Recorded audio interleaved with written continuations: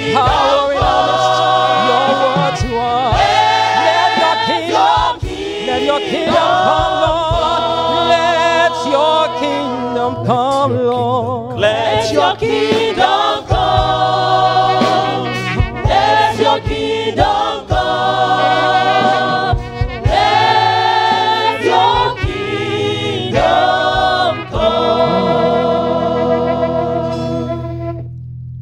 Let this not just be a song that we sing, but a reality that we're living in.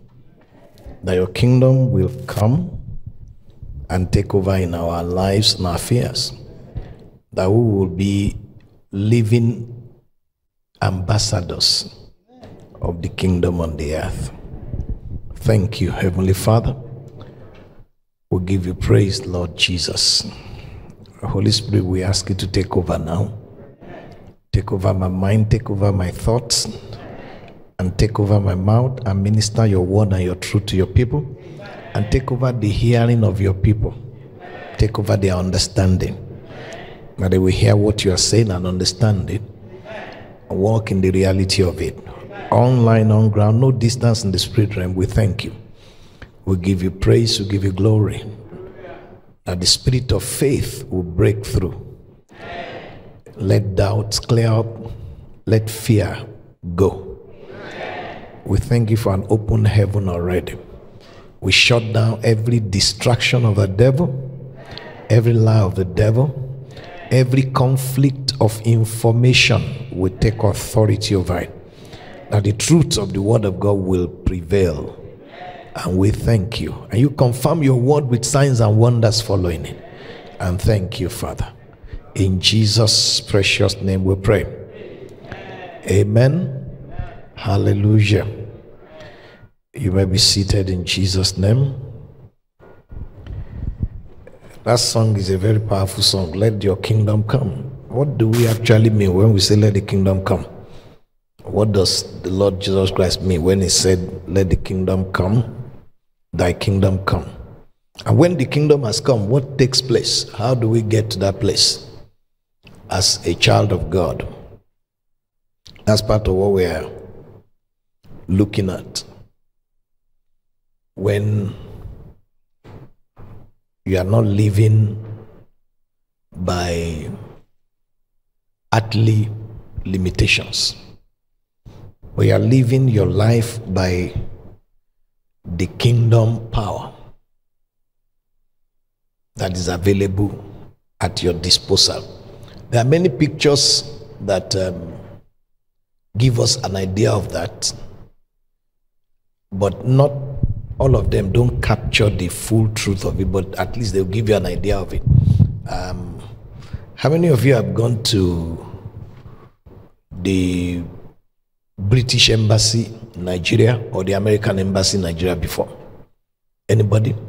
You've gone to a, maybe you went for a visa or something like that.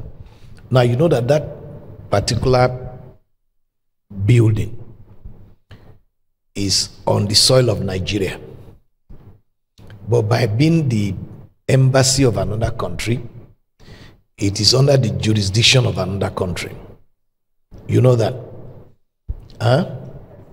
If a particular person has offended in Nigeria and the law, the policemen in Nigeria, they are looking for him, and he runs inside that building and they allow him to stay, they can't enter that place to go and arrest him it will lead to crisis. Even though is the building is on the soil of Nigeria, but it's under the jurisdiction of another country. You understand that?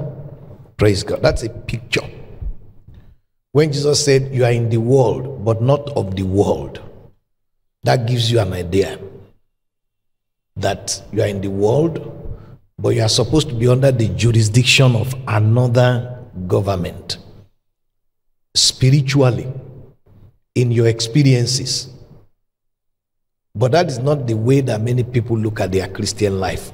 So, what we are looking at in this particular series is how to get to that place where we are operating the kingdom life. I hope you got that picture. That something can happen to any other person, does not mean it should happen to you. I hope you understand that. And then number two, the the American ambassador or the British ambassador in Nigeria, I'm sure he does not collect his salary in naira. How many of you know that? Huh? Praise God. How many of you know that know that the fuel subsidy removal does not affect him? Are you sure? Huh? Good. That's very interesting. And the Bible says you are ambassadors of Christ. So write it down. You are an ambassador of a kingdom. Now, if, if you can use that picture to try to understand how you are, your life is supposed to be, then you can now understand Philippians chapter 4 and verse um, 19 better. My God shall supply all your need according to what? According to, uh-uh, talk to me. According to his riches, where? It's not according to the economy of the country you are in, but according to his riches in glory. That's what the Bible says. So, how do you now walk in the reality of that? That's part of why we come to church and we spend time looking at the Word of God. That if this man is an ambassador of another country, his lifestyle in our midst is determined by the resources of the country that is representing. You understand that? Okay?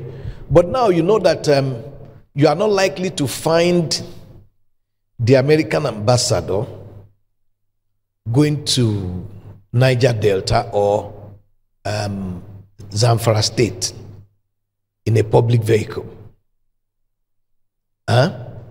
You know that um, he, he, he, he will be careful what he does and what he doesn't do, depending on the situation on ground. Now, if anything happens to him, if if um, if if if these um, kidnappers, let us imagine they mistakenly kidnapped the American ambassador. How many of you know that there's going to be trouble? Huh? Hello? Uh-huh. Uh, I'm sure the man does not worry about kidnapping. He's not going to expose himself carelessly, but that is not one of his worry. Amen. Because his protection, his deliverance will be determined by the government that is representing. And I want you to have that at the back of your mind that um, these truths are there, but they don't necessarily mean they are ruling in your life. Is that okay? That they are true does not mean it is active in your own life. It must become active in your life. That's what we want to happen. That's where that's when Christianity becomes a powerful force in your life. Do you get that?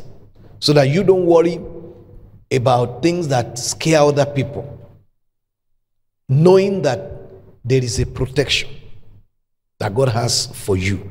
During COVID, that time, and um, African governments didn't have much provision on ground, and you found out that foreign governments from Europe, from America, they started sending planes to carry their citizens from Nigeria. How many of you remember that time? Huh? And there are Nigerians that had American visa and British visas. They started traveling. You remember that time? And those governments did not leave their citizens in jeopardy of what was going on here. They were responsible enough to send a rescue operation for their citizens. And I remember during COVID, what the Lord said to me to tell his people is that those governments are not more responsible than his own government. How many of you remember I said that to you? That he has a provision for his people. Okay? I must never forget that, that while you are a citizen of Nigeria, you are also a citizen of the government of heaven, of the kingdom of God. And that kingdom is more responsible than earthly kingdoms. Sometimes when you are part of an earthly government or kingdom or nation that is responsible and serious, your your your your dependence or awareness of God is not very strong. You are more aware of your government, they are taking care of that. You don't worry, you just expect that and government is there, they're going to do all that. Okay? But when you are a citizen of a government or a country where there is not that much sense of responsibility and seriousness about their citizens, you tend to depend on extra provision. If you don't have God, you will look for something else to help you. All right? But if you do have God, you tend to pray. That's why in Africa you find a lot of people pray. But most people pray, but they don't really understand their relationship with God. And that is why we must settle down and get an understanding of our relationship with God. Do you get what I'm saying? That somebody said something is going to happen does not necessarily it's going to, it, it, it may happen, but it doesn't necessarily mean it's going to happen to you. Do you understand? Praise God. Uh, and um, I am I'm taking this series of teaching with a mindset to help you come into that kind of um, understanding of your position with God, not with the mindset of um, oh that is working for the man of God alone. Do you get that? You know that's a, that's the lie of the devil that people get. That it's only the man of God that that can work for. I, I'm, I'm dealing with things that is God's provision for everybody. Is that okay? Praise God. All right. I remember many years ago at Ilesha, one Sunday like that, a pastor in town, another pastor in town, is is, is named under ministry, ran to our church, and then he told me that they said there are certain things that is going to happen, and that people should begin to pray. So I told him, I said, well, I don't know where you get that information from, but um, God sent me to town here. And He didn't tell me that's going to happen. So you can go back to your church. I'm sure it's not going to happen. If it's going to happen, God will tell me about it. He said, Are you sure? I said, Sure, I'm sure. And Are you not going to pray? No, I'm not going to pray about it. It's not every prayer point that you should pray about. Do you understand? So the, the pastor went back to his church Nothing like that happened. Now, I was just acting on the fact that I didn't send myself to town. God sent me there. And God will not allow anything to happen to me. I know God is responsible enough. How many of you have your children that go to school? Let me see your hand up. Your children go to school, especially little children. If while you are in church, now let's say this is um, school time, I just hear that um, some crisis is happening in schools in town. They didn't mention the school that um, there's some outbreak of violence in primary schools in town, and some people are attacking children. How many of you here will get up and do something about it? Let me see your hand up. Uh, raise your hand, raise your hand. Including that I'm preaching. Huh? now you understand why what, what I was going after is the fact that if you are that responsible and protective over your children, how on earth do you think God will be sleeping if any trouble is coming to you? Because you are not going to sit down, even though you are in church and I'm preaching, you will get up. And uh, if I say, everybody, wait, don't worry, there's no problem. you are going to, some of you will just start running and then you want to get to the school and there's only one person that is on your mind. I mean, who is the person? Huh? Talk to me. If you get to the school and you see your neighbor's child, will you take your neighbor's child first of all? You are looking for one particular person.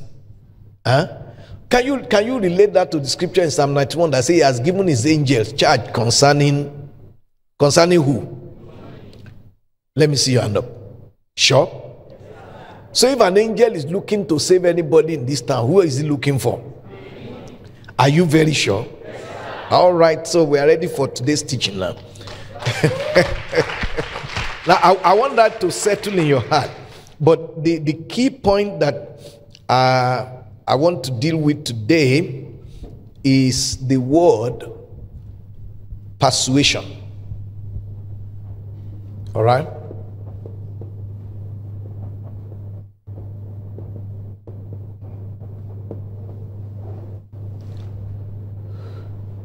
So, now can you put um, the six zones of life back on the screen for me, IT? I'm teaching on that now. I'll go over it a little bit. You remember we dealt with the comfort zone last Wednesday. Is that correct? Huh? Answer properly. You are in class. Amen. When I go to DIC to talk there, I say, Did you get that? I say, Yes, sir. so when I say, Did you get that? Yes, ah, good. Amen. All right. So, I want you to focus on the word persuasion. So, while we go to uh, uh, I'm, I'm dealing with zone one and zone two. Okay?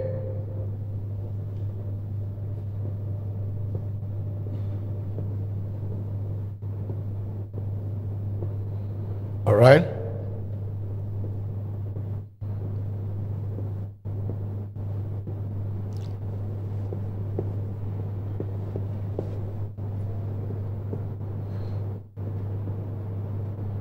This is zone 3, zone 4, zone 5, I hope, or zone 6, zone 5.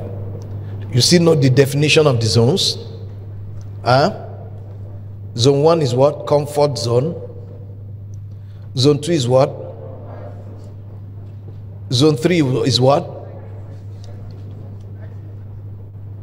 All right, zone 3 is here, is it? Okay, zone 3 is up. This is crisis zone. Zone 4 is victory zone. Uh, uh, uh, all right, so let me draw this. I want to put something here for you.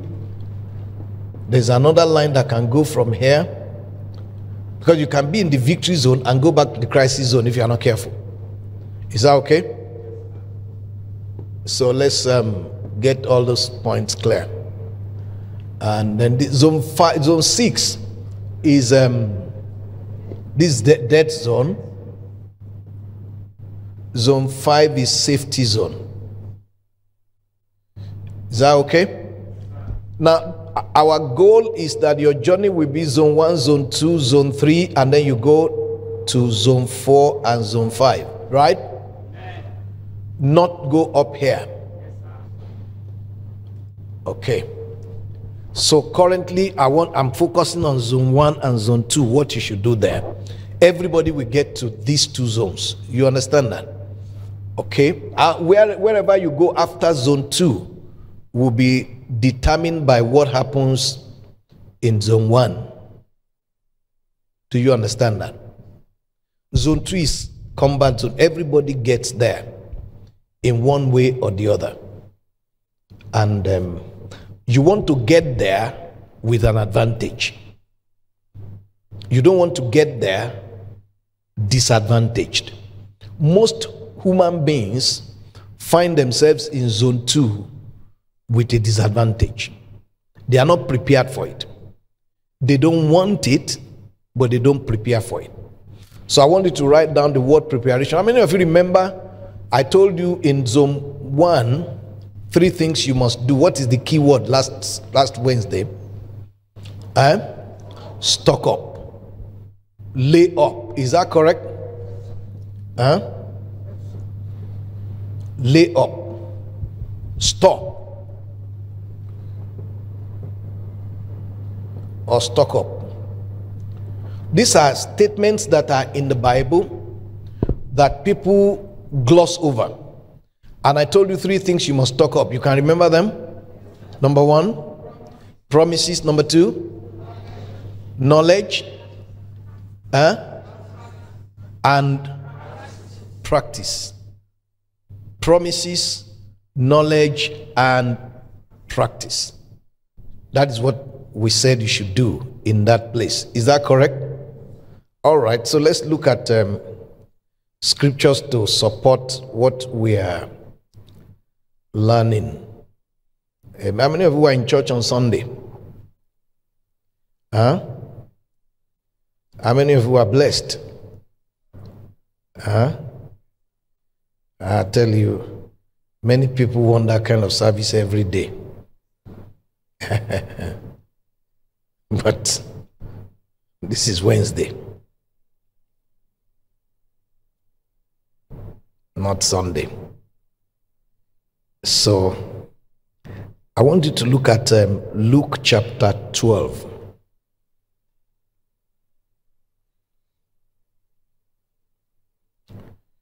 And look at a man that found himself in the zone of death 24 hours. Okay? And um, I'll look, I'll, I'll read it to you from verse 1. Because in the comfort zone of life, there's no trouble, as it were, in the immediate. But anything can happen, good or bad. And that is when you prepare. A wise man prepares for the future, he prepares against negative circumstances. He, just, he does not just hope that everything will continue as it is. But most people don't prepare. I want you to be among those that prepare. Is that okay? So, this man in Luke chapter 12, we read from verse um, 13. And one of the company said unto him, Master, speak to my brother that he divide the inheritance with me. That's what was bothering this man. The inheritance that their father left. And the older brother has camped it. And is looking for somebody to intervene that they should divide the inheritance. All that Jesus was saying in that meeting the man was not listening to it. That was what was in his heart. I hope you're following what I'm saying. Now, as you're sitting down here now, only God, yourself, and the devil know what's in your heart. I hope you are following what I'm saying. Nobody knows what's in your heart until you begin to speak. And not just any kind of speak. There are two kinds of speaks, uh, speaking, speaking that we do or speeches. One is the public relations speech, where you want people to think of you in a particular way. The other one is the real life communication that you are doing. Is that okay? So when when the one that comes from your heart is the real life situation. You have had somebody pray and they, they come to church, they hear a good teaching, and then they get back home and he's making negative statement. And maybe the wife or the husband say, ah, that's a negative statement. Look, I can't I can't lie. Not, we are not we are not talking faith now, we are talking reality. How many of you have ever said that or somebody has said it around you? We are not talking faith now, we are talking reality. So faith was not in his heart. It was in his mouth in church, but not in his heart. So he's talking what is in his heart now. Do you understand that? Good. So until you speak what is in your heart, we don't really know what is in your heart. But now look at this man. They were in a meeting where Jesus was teaching, and what was on in his heart was that this my brother cannot be cheating me. He can't take all this inheritance and just be sitting on top of it. Uh, who can who will, who will help me? And all that. So go to verse 14 now. And Jesus said unto him, Man, who made me a judge or a divider over you? And he said unto them, Now, he knows the, the Lord Jesus Christ know what is going on here. So he's not talking to everybody. He had answered the man and using that situation to teach everybody. And said, Take heed. Everybody say, Take heed. That is, watch, pay attention. Don't be careless as far as this matter is concerned. Take heed and beware of covetousness.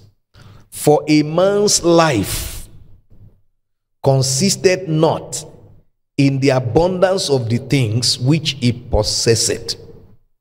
I want you to write that down very carefully. If your life consists of the physical things that you have, you are a very poor man.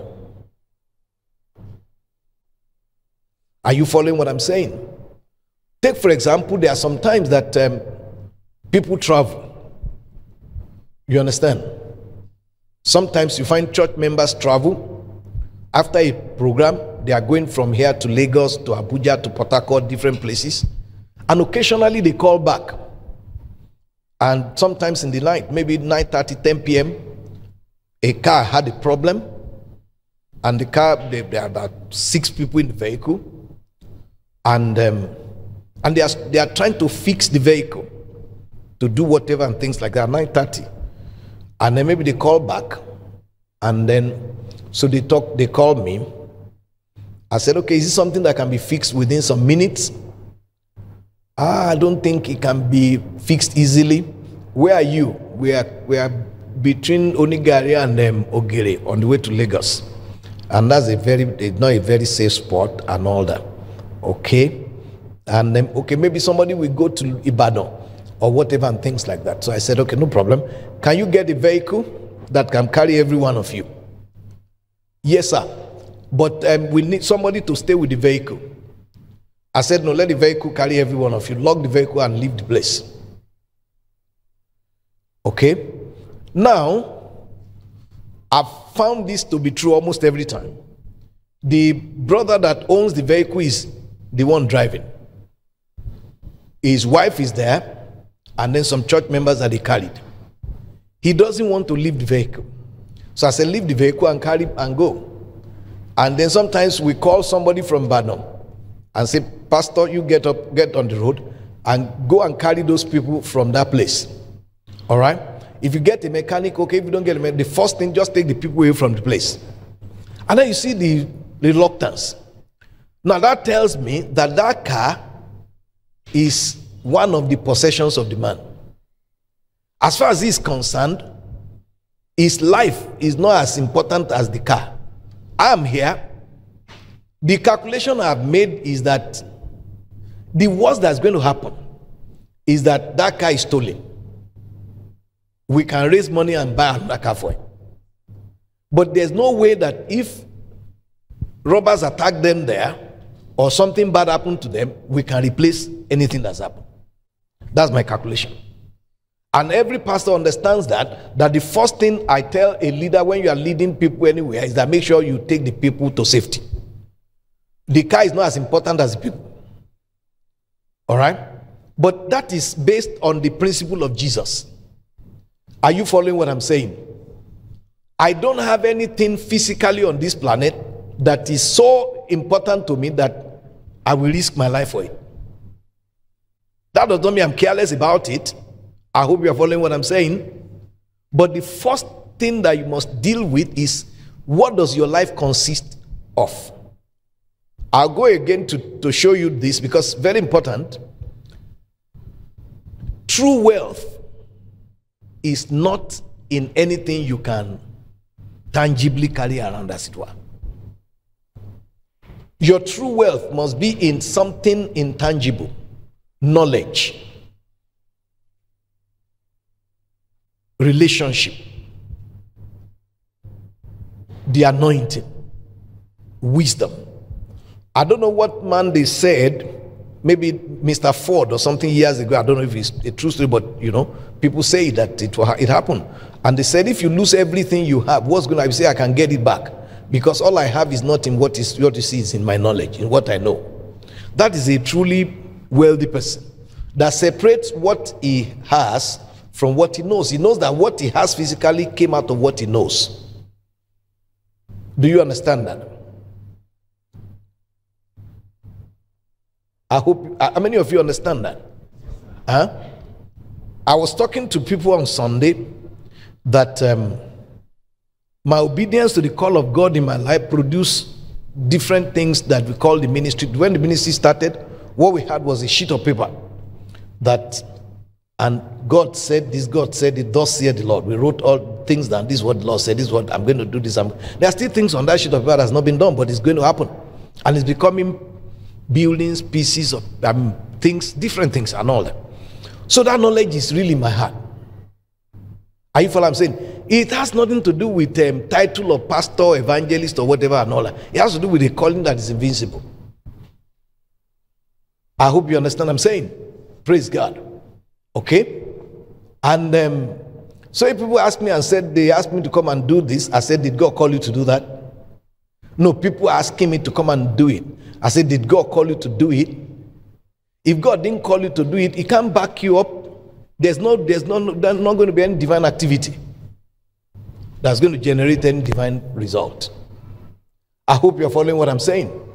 For example, one of the testimonies on Sunday, a, a sister in the church sent a testimony to mommy today. On Sunday, she, she had asthma. And then she forgot her inhaler at home. And while the service was on, she was coughing seriously. And then when I started ministry under the anointing, she was completely healed. And she's been free of that since that time. Sent a testimony today.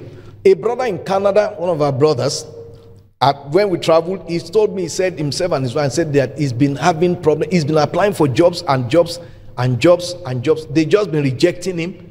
We don't need you. We don't need you. We don't need you. We don't need you. We don't need you. And then on Sunday, he was present in the service when that decree came that uh, your matter will be reviewed. And the favor, the decided, decided in favor. And said this company that they gave him a, they called him last a month ago, they told him that not needed. In the middle of the night, they called him and said you should send the CV. And they told him that they reviewed the procedure overnight and they decided that he's their preferred candidate. And they get now listen to they called him and gave him a job with six figures. Now, what I'm saying is this all that is divine activities that is generated by obedience to a divine call. All the things I said under the in the meeting, anybody can cram it and go and repeat it. It won't have the same result. When Moses stood before the Red Sea and he cried, and God said, Why are you crying to me? Stretch your rod and tell the people to go forward. And the Bible says God blew with his nostril, and then the, the, Red Sea parted, and the children of Israel went on dry ground. The Egyptians attempting to do the same, they drowned. Because that divine activity did not include them. I hope you follow what I'm saying. And I think one of the one of the most do I call it stupid? I'll call it insane activity that is going on in the world today is this attack against the ministers of the gospel and say, well, we're the same and things like that. That that that is not a new thing. They did it in the days of Moses, Aaron, and um, Dathan, Korah, and Abiram. And Moses said, Okay, all of you that you said you are the same, come bring all your stuff and put it in the Ark of the Covenant. By this time tomorrow, the person that God has chosen, he will show. And by tomorrow, these are dried dead stick. By tomorrow, the stick of Aaron had produced fruit, living fruit, almond fruit, everything, blossom with flowers and everything. And from that day, nobody argued again.